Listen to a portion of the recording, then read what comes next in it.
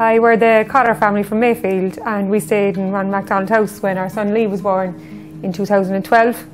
And he was born with very complex heart condition. So he, from birth, we had to um, live in Dublin. There was nowhere for us to stay because we have our other son Joe. Um, so Ron McDonald House was the only place where we could all stay together as a family.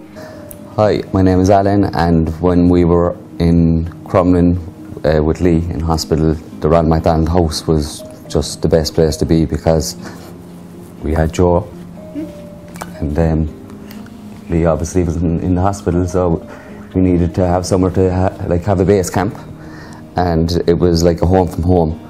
It had everything you needed, meals provided, fridges, um, cook your own. Sometimes people would come and cook for you.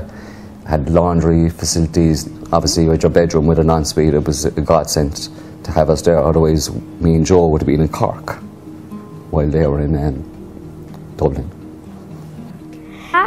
Back, um, there's a big tree house which is kind of huge and stuff, and so huge. And then we, me and Joe always looked down and yeah, it was really fun and I love this place.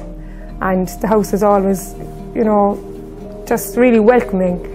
I think from the first time I went there, because we lived in Cork, I never heard around McDonald House. Never heard around McDonald House till I was pregnant with Lee.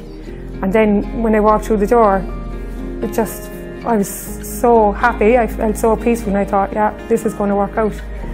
And we bounced back there after five hours one time, after a week another time, and there was never any problem. It was always, you're welcome back, and everything was as it should be. And it, I just want to say a real heartfelt thanks to everyone who was involved in any way.